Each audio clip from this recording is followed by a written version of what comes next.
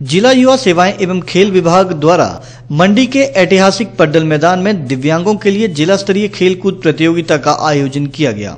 प्रतियोगिता के बारे में जानकारी देते हुए नेशनल कोच गीता पुरोहित ने बताया कि ये प्रतियोगिता दो आयु वर्गों के लिए आयोजित की गई, जिसमें 125 के करीब प्रतिभागियों ने भाग लिया।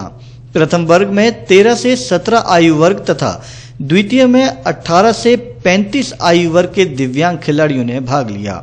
उन्होंने बताया कि जिला स्तर पर बेहतरीन प्रदर्शन करने वाले खिलाड़ियों का चयन राज्य स्तरीय प्रतियोगिता के लिए किया गया, जो कि दो व तीन दिसंबर को आयोजित की जाएगी। आज यहाँ पे डिस्ट्रिक्ट गेम होने जा रही है। सभी डिसेबल्ड यहाँ पे पार्टिसिपेट कर रहे हैं, जिसमें सहयोग मंडी, हियरिंग इम्पेयर्ड बच्चे 25 बच्चे आए हैं।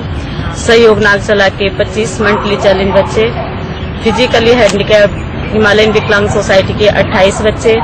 आईटीआई सुंदरनगर के बच्चे और Sakar Sundernagar H P S H A Sundernagar के 125 बच्चों के लगभग सभी यहाँ पे पार्टिसिपेट कर रहे हैं। और जो भी इन बच्चों में यहाँ पे फ़र्स्ट सेकंड थर्ड निकलेगा, उसका फ़र्स्ट बच्चे का चयन स्टेट लेवल के लिए होने जा रहा है, जो कि स्टेट लेवल का दो और तीन दिसंबर को मंडी में होगी ये गेम और हम चाहते हैं कि बच्चे अच्छे से शुरुआत करें और अच्छा सा प्रदर्शन करें, ताकि जो स्टेट लेवल गेम होगी वो मंडी की ट्रॉफी मंडी में ही रहनी चाहिए।